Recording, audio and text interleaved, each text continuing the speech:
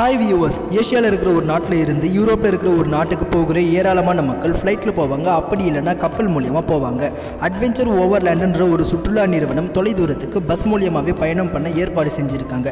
இந்தியாவோட தலைநகரமான டெல்லியில இருந்து இங்கிலாந்துடைய தலைநகரமான லண்டன் வரைக்கும் பஸ் மூலியமாகவே பயணிக்க முடியும். கேட்கவே ரொம்ப அதிர்ச்சியாக இருக்குதுன்னு வியூவர்ஸ் சாதாரணமாக டெல்லியில இருந்து லண்டனுக்கு ஃப்ளைட்டில் போகவே கிட்டத்தட்ட ஒன்பது மணி நேரம் ஆகும். ஃப்ளைட்டில் பயணிக்கிற தொலைவு எவ்வளவுன்னு பார்த்தீங்கன்னா ஆறாயிரத்தி எழுநூற்றி நாலு கிலோமீட்டர் தூரம். இதே பயணத்தை கப்பலில் மேற்கொண்ட இந்தியாவில் இருந்து இங்கிலாந்து போக சில வாரங்கள் ஆகும். இல்ல மாசம் கூட ஆகும். Delhi to London. இந்த ரோட் ரூட் தான் உலகத்துடைய நீளமான route Myanmar Thailand Laos China Russia Belgium பிரான்ஸ்னு பதினெட்டு நாடுகளை கடந்து இருபதாயிரம் கிலோமீட்டர் பயணம் பண்ணி கடைசியா லண்டன் போய் சேர எழுபது நாட்கள் ஆகுமா? இந்த பஸ்ல பயணம் பண்றவங்களுக்கு சொகுசான வசதிகளை சிறப்பான முறையில் ஏற்பாடு பண்ணியிருக்கிறாங்களா? இவ்வளவும் பண்றாங்கன்னா டிக்கெட்டோடைய விலையும் அதுக்கேற்ற மாதிரி தானே இருக்கும். ஒரு டிக்கெட்டோடைய விலை எவ்வளவுன்னு பார்த்தீங்கன்னா பதினஞ்சு லட்சம் ரூபாயா? திரும்பவும் சொல்றேன் தெளிவாக கேட்டுக்கோங்க வியூவர்ஸ் ஒரு டிக்கெட்டுடைய விலை பதினஞ்சு லட்சம் ரூபாயாம். அதை விட முக்கியமான விஷயம் என்னன்னு பார்த்தீங்கன்னா இந்த பயணத்தை பண்ண பதினஞ்சு விசாக்கள் தேவைப்படுமா ஒரு ட்ரிப்புக்கு இருபது பேருக்கு மட்டும்தான் அனுமதி வழங்கப்படும். அதுலேயும் முழு பயணம் பண்றவங்களுக்கே முன்னுரிமை தரப்படும்னு சொல்லியிருக்காங்க. இரண்டாயிரத்தி இருபத்தி ஒண்ணுல இருந்து இந்த பயணத்தை ஆரம்பிக்க போறதா தகவலையும் தெரிவிச்சிருக்காங்க. இந்த டெல்லி டு லண்டன் பயணத்துல உங்களுக்கு சில ஆஃபர்ஸ் கூட இருக்கு. அது என்னன்னா நீங்க இந்த பஸ்ல பயணம் பண்ணணும்னு ஆசைப்படுறீங்க.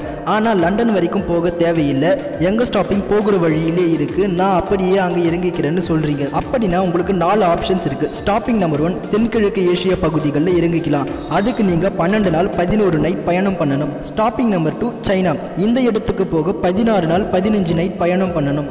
Stopping number three central Asia பகுதிகளில் இறங்கிக்கலாம். இந்த இடத்துக்கு போக இருபத்தி ரெண்டு நாள் இருபத்தி ஒரு நைட் பயணம் பண்ணணும். கடைசியாக ஸ்டாப்பிங் நம்பர் ஃபோர் யூரோப் பகுதிகள்.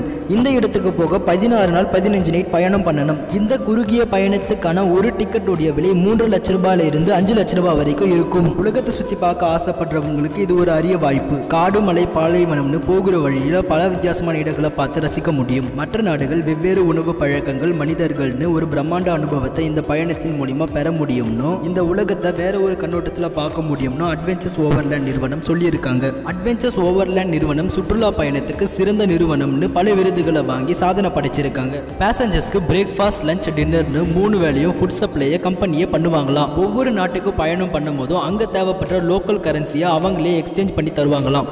அட்வென்ச்சர் ஓவர்லேண்ட் கம்பெனி மூலியமாக போகிறதுனால இன்டர்நேஷனல் பார்டர் இஷ்யூவும் ஏற்பட வாய்ப்பு இல்லை மற்றபடி பஸ்ஸில் உங்களுடைய ஸ்டே ரூம் வாஷ்ரூமில் தனிப்பட்ட முறையில் ப்ரைவேட்டாக யூஸ் பண்ணுற மாதிரி தான் ஏற்பாடு பண்ணியிருப்பாங்க. இதுக்கு மேலே வேற என்ன வேணும்? ஓகே வியூவர்ஸ் இந்த வீடியோ கண்டிப்பாக உங்களுக்கு பிடிச்சிருக்கும்னு நினைக்கிறேன். அப்படி பிடிச்சிருந்தா இந்த வீடியோக்கு ஒரு லைக் பண்ணிடுங்க.